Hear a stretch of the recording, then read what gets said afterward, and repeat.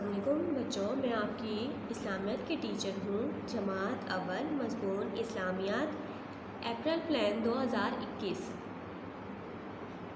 सबक, तहारत, उनवान राइट करेंगे। पढ़ाई, मरूज़ी तर्ज, इंशाइया तर्ज। इसको करने के बाद नीचे आपने एंडिंग लाइन लगा देनी है साइड पर मार्जिन लाइन ड्रॉ करनी है। एंडिंग लाइन हर काम के नीचे लगानी है। जब आपका काम फिनिश हो जाए तो एंडिंग लाइन लाजमी लगानी है। जो भी काम करना है, ऊपर डेट एंड डे लाजमी मेंशन करनी है। नेक्स्ट पेज पे आ जाइएगा। अच्छा बच्चों अब हमने अगले सफ़ा पे आ जाना है। टर्न योर पेजेस उन्वान करने के बाद अब हम अगले पेज पे आ जाते हैं। इस पर आपने सबक तहारत लिखना है। साइड पे मार्जिन लाइन ड्रॉ करनी है। ऊपर डेट एंड डे मेंशन करनी है। उसके बाद आपने हेडिंग देनी है, खाली जगह पुर करें। नंबर वन हमारे पास है हज़रत मोहम्मद सल्लल्लाहु अलैहि वसल्लम को। डैश बहुत पसंद थी। सफ़ाई बहुत पसंद थी। सफ़ाई के नीचे अंडरलाइन लगा दें।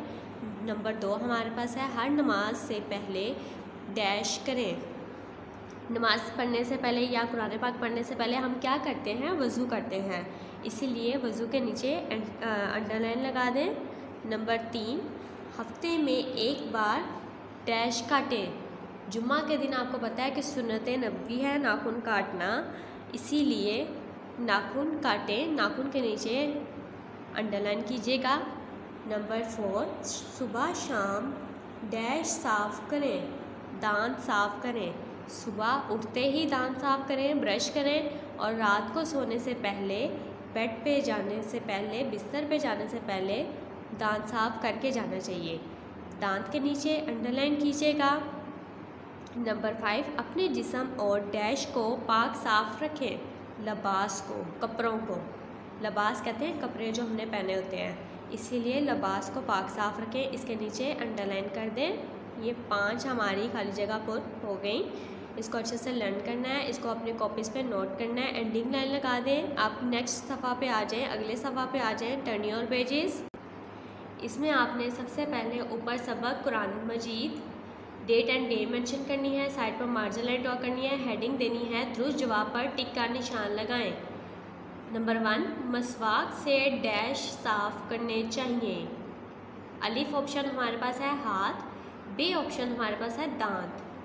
मसवाक से दांत साफ़ करने चाहिए दांत पे टिक लगा दीजिएगा। नंबर टू ऑप्शन हमारे पास है, साफ़ सुथरा इंसान बचा रहता है। अलिफ बीमारियों से, बे नींद से। बीमारियों से बचा रहता है, बीमारियों पे आप टिक लगा दें। नंबर तीन ऑप्शन हमारे पास है, आप सल्लल्लाहु अलैहि वसल्लम के कपड़े डैश होते थे। शौक, सादा। सादा कपड़े वो इस्तेमाल करते थे, इसलिए सादा पे आपने टिक लगा देना है। नंबर फोर ऑप्शन हमारे पास है, हमें नहाना चाहिए। अलिफ, रोज़ाना, बे कभी कभी रोज़ाना। रोज़ाना पे टिक लगा दीजिएगा। अपने कपड़ों को डैश से बचाएँ, पाकि ना पाकि ना पाकि से बचाएँ। ये आपने अपनी कॉपीज़ पे नोट करना है। अगर आपका एक लाइन में नहीं एक पेज पे नहीं आ रहा तो दो पेज यूज़ कर लें। अगले सफ़ा पे चले जाएँ। लेकिन आपने काम नीट एंड क्लीन करना है। साइड पर मार्जिन लाइन टीचर ने जैसे बताई है, वैसे ही लगानी है, ऊपर डेट एंड डे मेंशन करना है। उसके बाद आपने क्या करना है? सवाल जवाब। सवाल जवाब पे आ जाए सबक। कुरान मजीद ऊपर लिखना है, फिर नीचे हेडिंग देनी है, सवाल जवाब, तहारत के क्या मायनी हैं? जवाब, तहारत के मायनी हैं सफ़ाई और पकीज़गी। नंबर दो, आप सल्लल्लाहु अलैहि वसल्लम ने सफ़ाई के बारे में क्या फरमाया?